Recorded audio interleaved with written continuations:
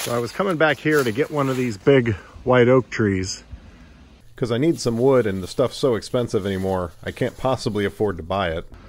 But uh, look at this. This one fell down, it uprooted, so it probably didn't rot. And it's been up off the ground. This is where it was, my forks aren't lifting it. Uh, most of the log is up off the ground and it's a good, it's almost two feet across. I bet you that's good wood. So let's see what we can get out of that thing.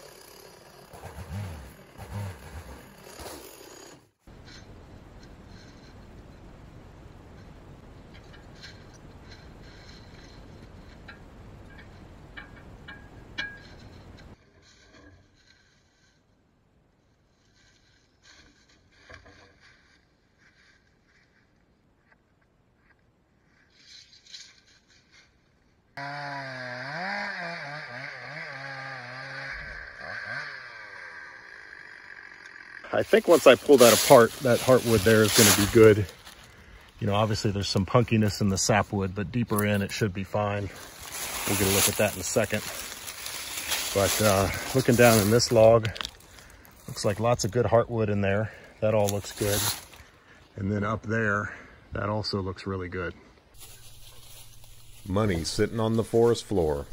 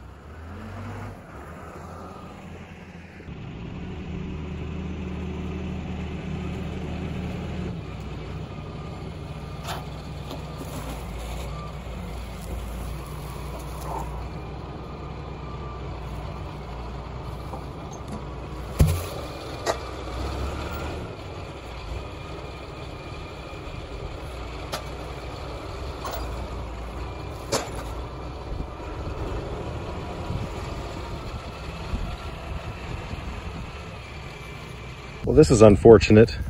Uh, the end of this log, it looked good when I looked down in it, but I couldn't see very far. It gets really punky in the center. And unless that goes away very quickly when I get into the log, uh, I'm not going to be able to use this because I need at least 100 inches, which is uh, somewhere right in here. So I'm going to cut that disc off and see how it looks. Now, what I should have done is when I was out there, eh, live and learn, I should have made sure I didn't want to waste wood. So when I did this first cut, I should have come and done another cut right beside it, taken that disc out and looked at it. Then I could have worked my way up the log until it was solid and then measured the, the dimension that I need. Uh, but now, you know, if I have to cut off any more than like right here, it's going to be too short. Don't!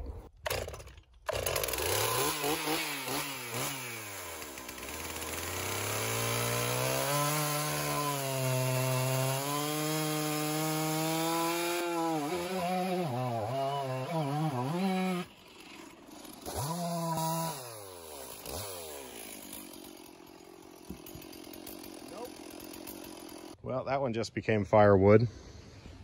The good news is that whole log is good and I can actually get two of the length I need out of that one. So we'll still use it.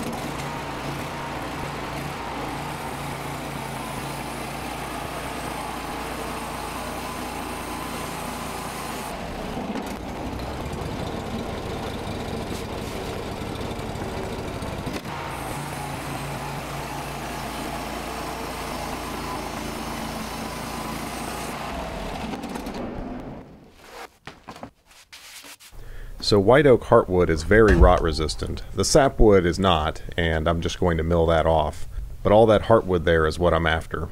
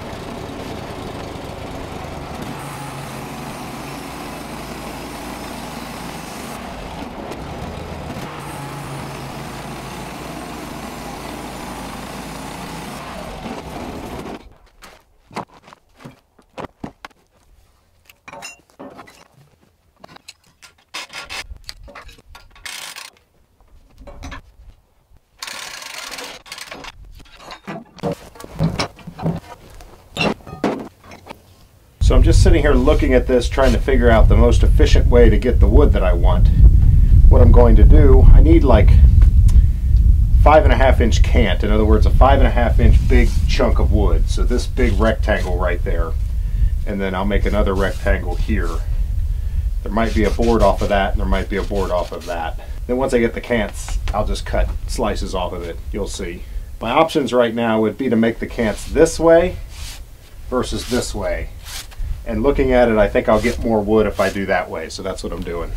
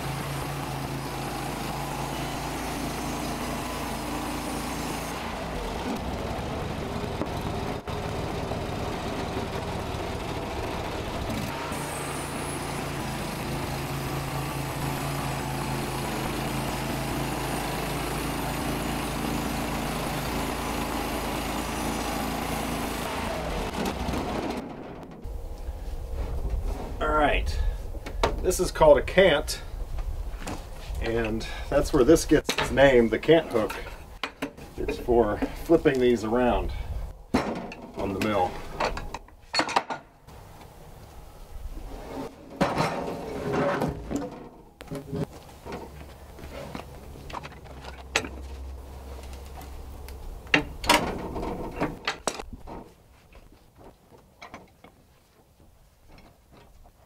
Now this is where you get to the productive part of sawmilling. I just take slices off and each one's a board.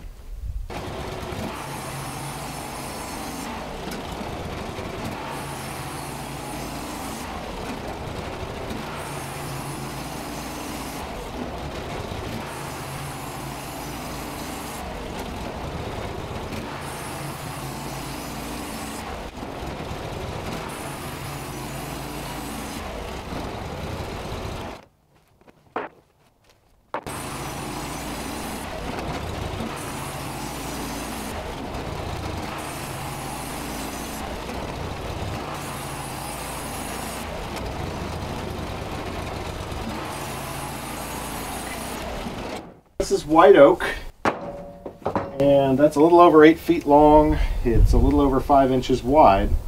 So there's about four board feet in that board. Right now, white oak is going for around $8 a board foot from the sawmills. So this would be a $30 board, believe it or not. Just sitting there on the ground rotting, or at least getting ready to rot, had I not come and picked it up. So after I do this log, we'll count them up and we'll see how much value there was that I picked up in that deadfall. I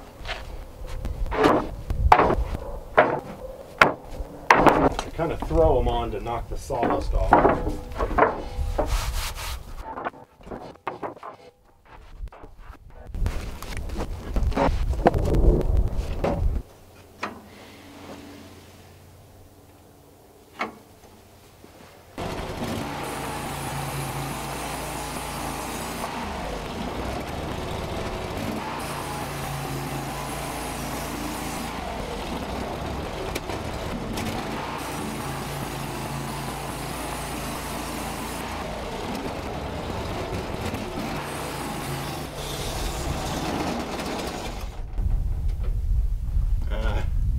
Ran out of gas.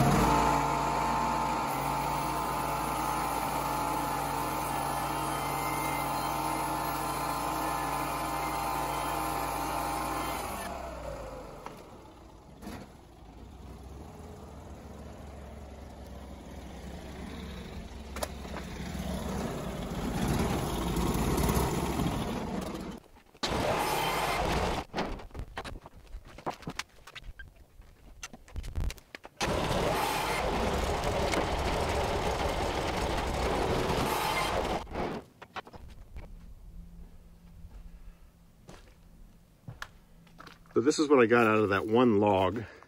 That's 30 boards. Three of them are narrower, uh, three of them are wider. The rest of them are all my five and a half, and I can use all of them. I'm making flooring out of this.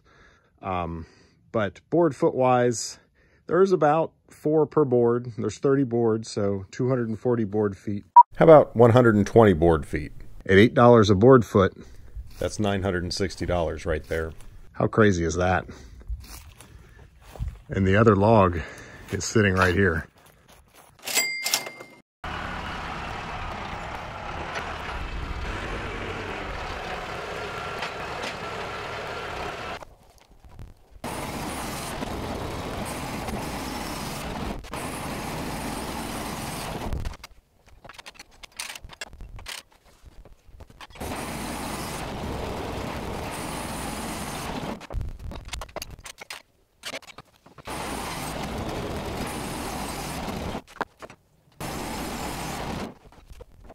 I'm going to make my two cants, turn them up, and cut them together.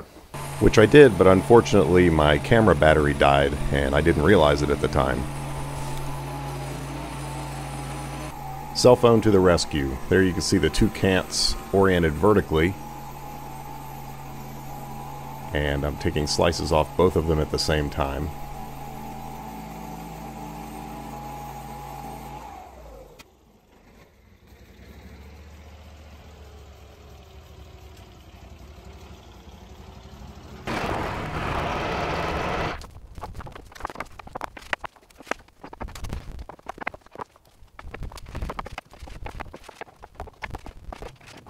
So there it is all stacked and from here up is all the stuff that came out of that log in the woods. 212 board feet times eight is $1,600 plus a little bit. Now at these prices, $8 a board foot, that's ridiculous. Uh, you know, I'm thrilled that it's worth that much, but that's kind of crazy. I would never pay that much for, for wood. But uh, that's what it's going for right now, at least. That's the actual official, what I got out of that log just laying there in the forest. $1,600 worth of white oak. Obviously, if I hadn't screwed up cutting the butt log, I would have gotten even more out of it. But we still did pretty good. So this is enough wood that after I get it dried in the kiln and then get it processed in the shop, I will have tongue and groove flooring for my front porch. All right, there it is loaded in the kiln. I'm gonna get this closed up and it'll get it up to 120 degrees. The dehumidifier will take the moisture out and I'm gonna get it down to about 10% moisture.